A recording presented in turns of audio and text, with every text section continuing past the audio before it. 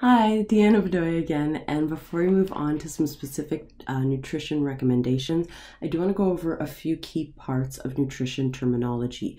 So these three terms here are all dietary reference intake values. So basically, if I want to, let's say I'm a dietitian or I am working with someone and I want to find out if they're making, they're getting enough of what they need, but not too much I need reference values to compare their diet to. So if I want to know if their vitamin A is adequate, if I want to know if their sodium is excessive, I have to have reference values to compare it to. Like finding out how much they consume is not enough. And that's what these DRIs do. They're scientifically determined reference values that tell us, you know, what kind of um, range of nutrient intake is going to promote health. So for instance, in my nutrition class in BPK 110, when my students do a diet analysis, they get a value for a bunch of different nutrients in their diet and then they compare that value to typically the RDA or the adequate intake value to see if something is uh, adequate.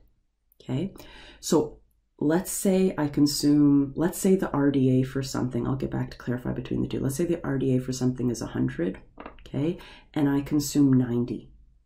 I would say you are milligrams. I would say you're probably adequate for that thing because you're close to the RDA. You're around it. You don't have to hit it exactly. There's a margin of safety around them. Okay, the RDA is more scientifically determined than the adequate intake, but they're used the same way. I use both of them to determine am I more or less around how much I should be consuming for a particular nutrient. Okay, so we use those, some nutrients, some vitamins and minerals, for instance, have an RDA, while some have an adequate intake. They don't have both, okay, but they're both like the are you getting enough value. We also not just want to know if you're getting enough, we also want to know if you're getting too much.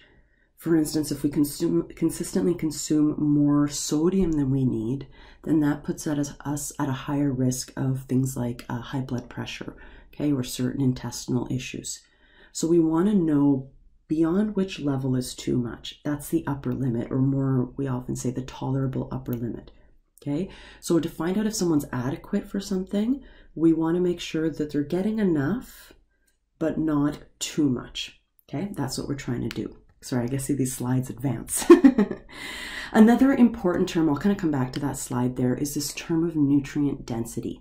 Nutrient density basically looks at the quantity of various nutrients within a food for the amount of calories in that food.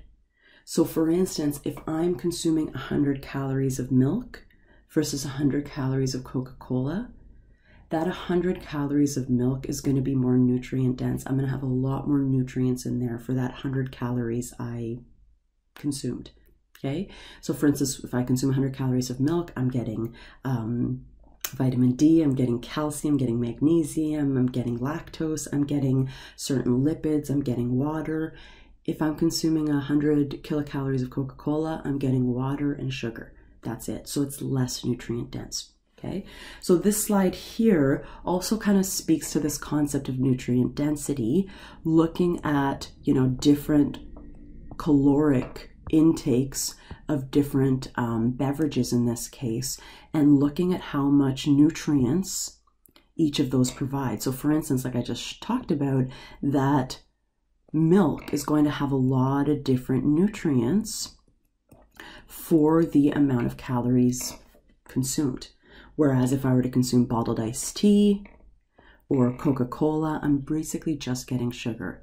And this slide here kind of ties in this nutrient density slide plus this uh, uh, dietary reference intake slide because when it says 12%, what I mean is I'm getting 12% of my RDA for calcium. Okay, so that's the recommended daily intake, in this case the RDA. And since I'm getting 570 milligrams, that's about 12% of the RDA. Okay, so just kind of combining a couple concepts here. Other terms to clarify include the terms foods versus supplements. So, foods are, I think we know what foods are, and we can get um, all of our different nutrients from our foods. We can also sometimes get uh, our nutrients from supplements as well, like vitamin and mineral capsules or from like powders, etc. Supplements can be helpful for individuals that have a hard time getting their, their RDAs or their AIs um, from food alone. But quite honestly, if we are getting a very varied diet, a varied diet, we're consuming enough, we're eating a variety of food, we can get everything we need from food. Supplements the big the biggest issue with supplements is a they can be expensive. And b sometimes people overdo it they overconsume them. Consuming extra amount of supplements doesn't give you extra benefits. Their main goal is to make up for nutrition nutri- nutrient deficiencies okay? The other issue with uh, supplements is we are way more likely to get into symptoms of toxicity from supplements than from regular foods Okay, so I'm not saying not to consume supplements, but don't don't do them just because. so you might want to like watch your diet on um, like analyze your diet on MyFitnessPal for a few weeks, see if you're deficient in anything, and then maybe consider consuming supplements in consultation, maybe with your uh, health professionals. Um, but we don't recommend just consuming supplements uh, willy nilly for just anyone, although a multivitamin probably can't hurt. We just don't want to overdo it. So, this quick little lecture was to just give you some key terms in nutrition, and then we're going to come back in the next section to talk about uh, food recommendations and the Canadian Food Guide. See you then.